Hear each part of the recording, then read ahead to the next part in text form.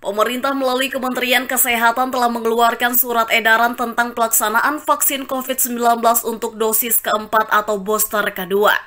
Namun demikian ditarakan pelaksanaannya belum berjalan karena harus mengetahui terlebih dahulu stok vaksin dan juga regulasinya.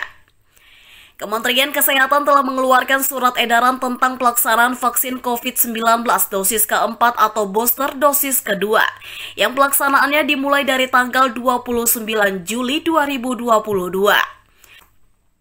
Surat edaran nomor HK 0202 garing C 3615 garing 2022 yang dikeluarkan Direktorat Jenderal Pencegahan dan Pengendalian Penyakit Kementerian Kesehatan sudah disebarkan ke seluruh wilayah di Indonesia. Pada surat edaran tersebut yang pertama kali harus mendapatkan vaksin COVID-19 dosis keempat atau booster kedua, yakni para tenaga kesehatan atau nakes. Namun demikian untuk di kota Tarakan pelaksanaannya masih belum berjalan sesuai yang dijadwalkan. Kabit Pencegahan dan Pengendalian Penyakit Dinkes Tarakan Irwan Yuwanda mengatakan, untuk di Tarakan belum dimulai karena harus meninjau stok vaksin yang ada. Selain itu masih menunggu regulasi dan petunjuk teknisnya karena surat edarannya baru diterima. Ada penguatan kembali untuk vaksinasi booster kedua atau dosis keempat tapi yang kita dapat instruksikan ini tahap apa nih yang keempat ini khusus nakes dulu. Ya nakes dulu. Nah kemudian nanti uh, kita lihat dulu stok vaksinnya yang tersedia berapa. Nanti baru kita koordinasikan dengan seluruh vaskes yang ada jadi kalau pelaksananya bisa dimulai 29 Juli, jadi bisa mulai hari ini. Cuma belum ada yang melakukan karena mereka harus melihat dulu kan stok vaksin, baru bisa kita lakukan. Kita juga belum ada rapat koordinasi lebih lanjut karena emang baru terima regulasinya kemarin.